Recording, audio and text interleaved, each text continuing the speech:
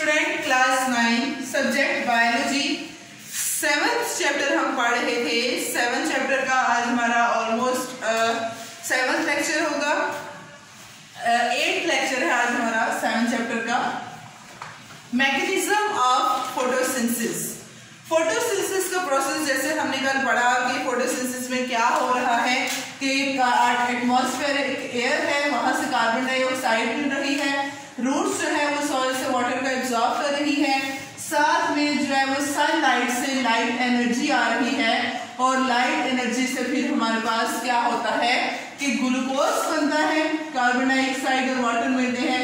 साथ में ऑक्सीजन और वाटर ऑक्सीजन फिर प्लांट जो है वो एक्सेल कर देते हैं एटमोसफेयर में दे देते हैं फिर हम उस ऑक्सीजन को यूज़ कर रहे हैं। अब ये तो हमने पढ़ा सिंपल प्रोसेस कि सिंपली इस तरह से कार्बन डाइऑक्साइड मिला वाटर मिला लाइट एनर्जी मिली और ये ग्लूकोज बन गया। मैकेनिज्म एक्चुअली इसके पीछे क्या है? लाइट एनर्जी किस तरह से जो है वो हम यूज़ कर रहे हैं फोटोसिंथेसिस के प्रोसेस में? कार्बन डाइऑक्साइड किस तरह से ग्लूकोज में रिड्यूस हो रही है? वो उसका मैकेनिज्म आज हमने पढ़ना है। बेसिकली जो फोटोसिंथेसिस है, ये होती है दो फेजेस में, दो स्टेप्स में।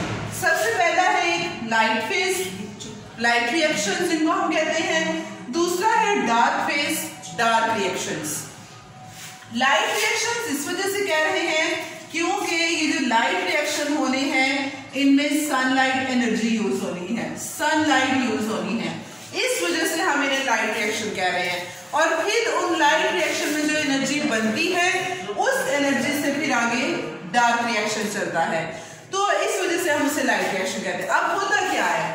जैसा कि हमें पता है कि प्लांट्स में प्लांट्स के सेल में एक ऑर्गेनेली होती है, जिस, उस ऑर्गेनेली को हम कहते हैं क्लोरोप्लास्ट अगर हम यहाँ पर बनाएँ, ये क्लोरोप्लास्ट में प्रेजेंट होते हैं थैलाकाइट्स थैलाकाइट्स प्रेजेंट है।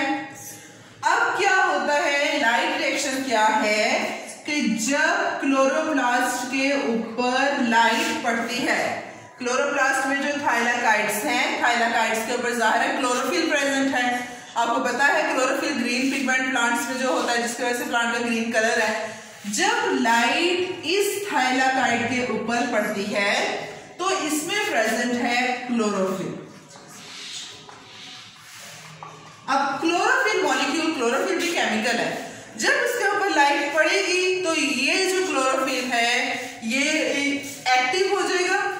इसमें से निकलेंगे इलेक्ट्रॉन्स इस क्लोरोफिल में से निकलेंगे इलेक्ट्रॉन्स और वो इलेक्ट्रॉन्स फिर ट्रेवल करेंगे और वो इलेक्ट्रॉन से हमें एनर्जी मिलेगी एटीपी और एनएडीपी ये दो एनर्जी की फॉर्म्स है एटीपी और एनएडीपी और एनएडीपी मतलब न्यूक्लियोटाइड एडेनिन डाइफॉस्फेट ये इसका मतलब है और इसका मतलब एडेनिन ट्राइफॉस्फेट है। तो ये हमें एनर्जी इससे मिलेगी। अब क्या होगा कि ये जो इलेक्ट्रॉन्स हैं, ये जब हमें एनर्जी मिलेगी तो दूसरा काम क्या होगा? उस एनर्जी की वजह से जो हमें वाटर प्लांट को मिला था, वो वाटर भी क्या होगा? ब्रेकडाउन होगा फोटोलाइसिस होगी इस लाइट एनर्जी की वजह से। ये वाटर मॉलिक्यूल भी ब्रेक करेगा और वाटर मॉलिक्यूल ब्रेक करके हमें दे देगा ऑक्सीजन तो ऑक्सीजन हमें सुबह मिल रही होती है ना प्लांट्स में से? तो वो इसी तरह से मिल रही है। ये लाइट रिएक्शन हुआ है। हम समरी इसकी लाइट रिएक्शन की डिटेल में नेक्स्ट सेक्शन में पढ़ेंगे। आज हम इसका जनरल मैकेनिज्म पढ़ रहे हैं तो इस तरह से हमारे पास आ, हमें ऑक्सीजन मिल जाएगा। अब जब इस लाइट रिएक्शन में एटीपी भी बनी है और NADPH भी बना है। NADPH कैसे बना है कि ये जो इलेक्ट्रॉन्स से, इन इलेक्ट्रॉन से जो ऑक्सीजन का जो हाइड्रोजन है, इस हाइड्रोजन को ऑयल में चेंज किया और ऑयल में चेंज करके इस NADP को रिड्यूस कर दिया। हमें पता है ना addition of hydrogen is known as reduction तो NADP में वो हाइड्रोजन ऐड करके NADPH में कन्वर्ट हो जाता है। अब डार्क रिएक्शन फिर स्ट्रोमा में होता है। स्ट्रोमा में ये जो फ्लूइड है क्लोरोप्लास्ट के अंदर जो फ्लूइड है, वहाँ पर डार्क रिएक्शन होगा। अब वहाँ पर क्या होगा कि ये रिएक्शन डार्क रिएक्शन में यूज़ होगी। इस एटीपी को एनर्जी को यूज़ करके तो जो कार्बन डाइऑक्साइड हमें एटमॉस्फेयर से मिली थी, वो कार्बन डाइऑक्साइड को फिर चेंज कर दिया जाएगा ग्लूकोज में। वो कार्बन डाइऑक्साइड ग्लूकोज में रिड्यूस हो जाएगी। क्योंकि कार्बन के पास, जैसे कार्बन भी ऑक्सीजन के पास हाइड्रोजन नहीं है ना तो हाइड्रोजन की एडिशन से कार्बन डाइऑक्साइड फिर ग्लूकोज पे रिड्यूस हो जाएगी। जब रिड्यूस हो जाएगी तो साथ फिर हमारे पास बाकी जो एटीपी और एनएडीपी बचे हैं एनएडीपी भी से बचेगा, क्योंकि एनएडीपी एच की जो हाइड्रोजन है, वो तो कार्बन डाइऑक्साइड को उसने रिड्यूस करके ग्लूकोज में चेंज कर दिया है। तो इस तरह से ग्लूकोज भी बन जाएगा। ग्लूकोज भी बन गया ऑक्सीजन भी बन गई, और बाकी जो वाटर है, बचा उचा वो निकल आता है। ये हमारे पास है फोटोसिंथेसिस का मैकेनिज्म डिटेल में हम फिर कल नेक्स्ट लेक्चर में पढ़ेंगे लाइट रिएक्शन और डार्क रिएक्शन पढ़ेंगे। बस यही है सिंपल आज के रिएक्शन क्या है? लाइट एनर्जी क्लोरोप्लास्ट में पड़ी। क्लोरोप्लास्ट में क्लोरोफिल प्रेजेंट है।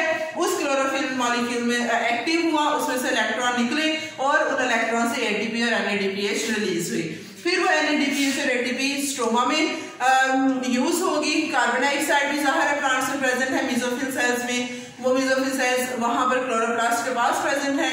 वहाँ पर भी कार्बन डाइऑक्साइड जो है एटीपी और एनएडीपीएच को यूज़ करके ग्लूकोज में चेंज हो जाएगी। ये जनरल इसका जो है वो मैकेनिज्म है। डिटेल में इंशाल्लाह हम नेक्स्ट लेक्चर में पढ़ेंगे। आज के लिए इतना ही है। अल्लाह